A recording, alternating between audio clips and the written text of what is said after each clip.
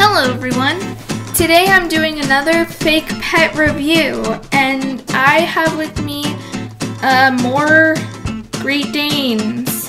So yeah, let us let us discover these two other ones cuz that's why I'm here is to talk about them. Let's move on. Today we have with us this lovely Great Dane. And we have this one. This one looks a lot like this other fake one that I reviewed in a video. Let's touch on this one first. Look at the bottom, the light color.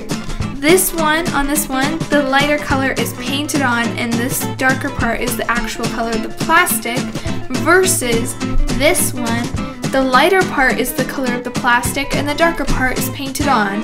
And it looks really strange. And I don't know why they did this. And I'm pretty sure that on the authentic one, it is not like this because these ones in the authentic form are literally identical.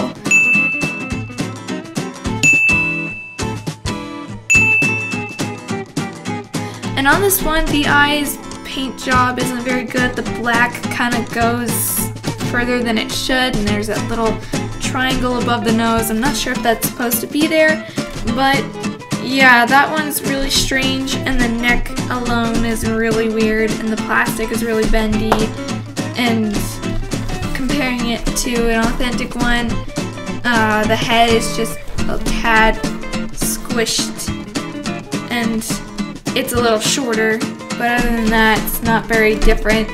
Moving on to the next one. This one, I was surprised to open it out of the package because it has this really weird limp. And again, I could totally use this for a music video.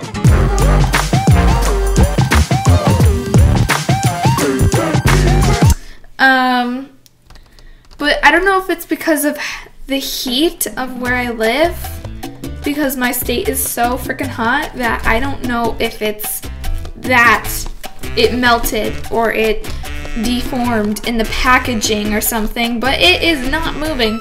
This one's plastic is super duper hard. Like, I can't, I'm trying with all my might to bend it right now versus this one. I can bend it super easily I don't know what the deal is, but this one's really strange and I'm not really quite understanding it. And I'm not sure what the authentic one looks like, to be honest.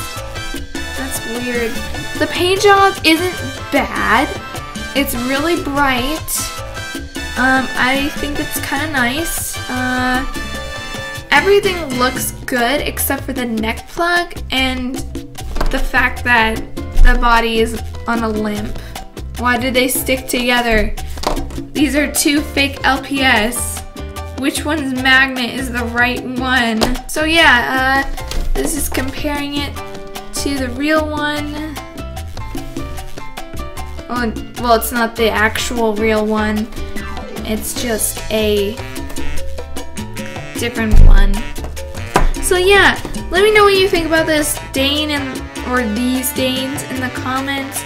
And do you think they would pass for real, uh, real Great Danes in a video? Would you notice they're fake? Let me know down below what you think. And yeah, it's it's been a strange day, I have to admit. But anyways, thanks so much for watching, and I'll see y'all later. Toodles!